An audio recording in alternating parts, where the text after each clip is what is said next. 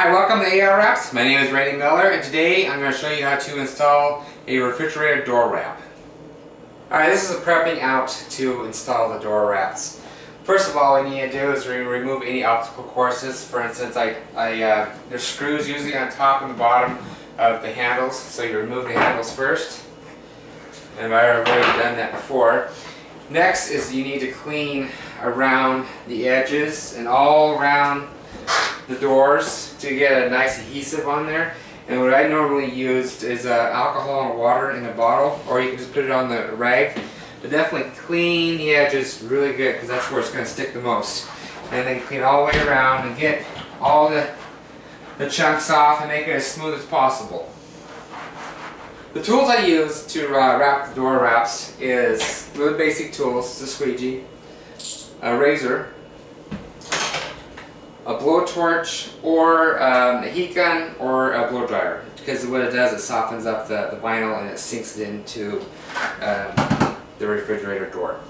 Alright, when you receive the prints, you're going to have two different prints. The one for the top and one for the bottom, or vice versa, or the, the going to be two different sizes, or even actually three. But you, I'm going to actually print it over what it's supposed to be, so you can trim it out. So it's not going to be exactly the size of the refrigerator, and that's a, it's a good thing because you want it as tight as possible. All right, next thing you need to do is pull the backing off. Not all the way. You can just do it um, probably half the way.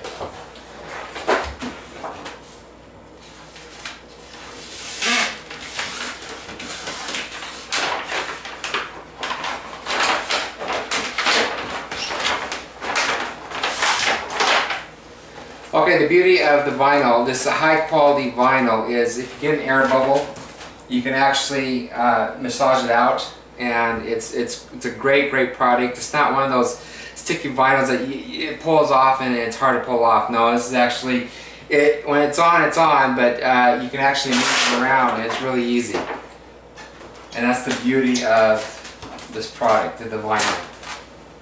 Okay, the first thing I like to do is cover the front of the refrigerator. So what I normally do is kind of eyeball it. You can, you can feel around where it's supposed to be at. And don't worry about it. I mean, if it's, you can move it around. It's not, it's sticky, but it's not sticky. Make sure you're overlapping it on top and on the bottom.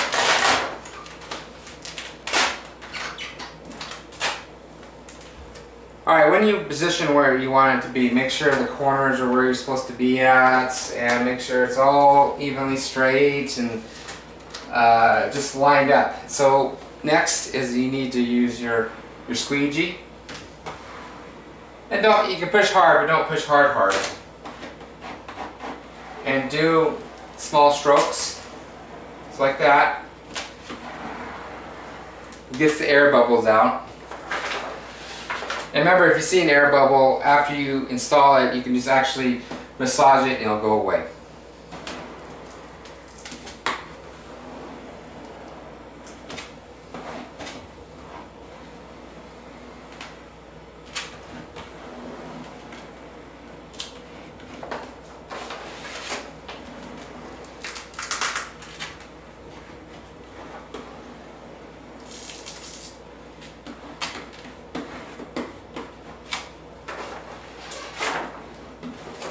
Alright, next what I like to do is open the door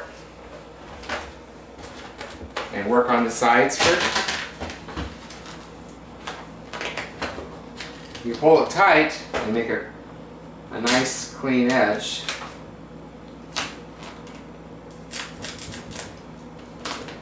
So you pull out like that.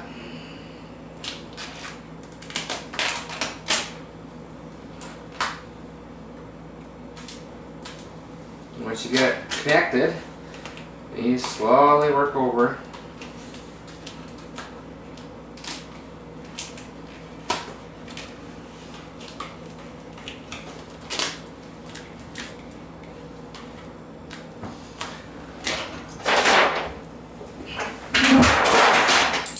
Alright, next what I like to do is I like to go probably um, a quarter of an inch up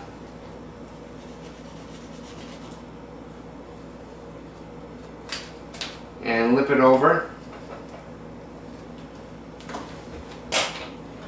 And then I go all the way around. And just take your time.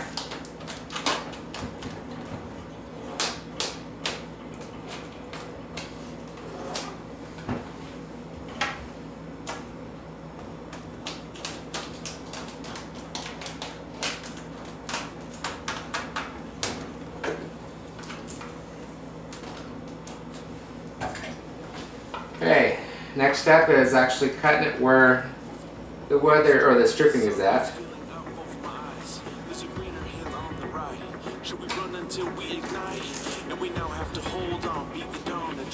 And you got a nice, clean, wrapped round edge. And anything I wasn't, if I try hard enough to be never does it. When the odds are against me, don't prevent me. And if I didn't fight back, I resent me. This is the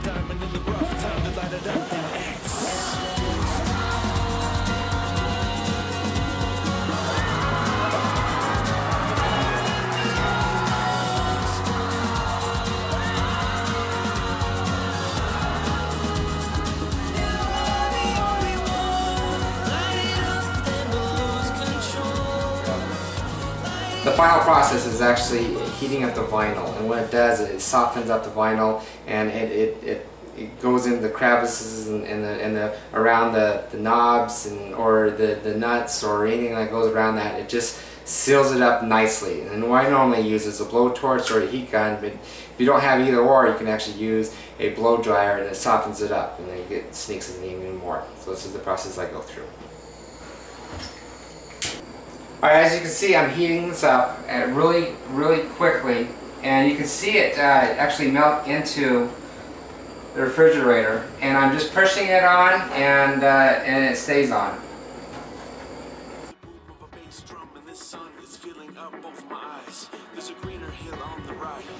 Alright, for longer pieces, uh, for if you have a really long fridge or anything, it's best to actually go on the bottom, pull it tight on the bottom, and then you work your way down. You will have less air bubbles.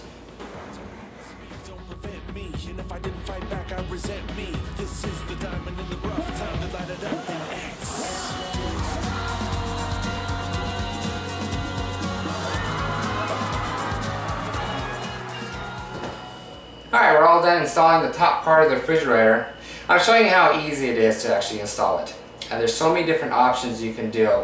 Yeah, if you're a graphic designer or an artist or anything like that, or even a photographer, if you want to actually send me the images, give me the dimensions of your your refrigerator, I can print them out, roll them up, and mail it to you, and you can install it yourself.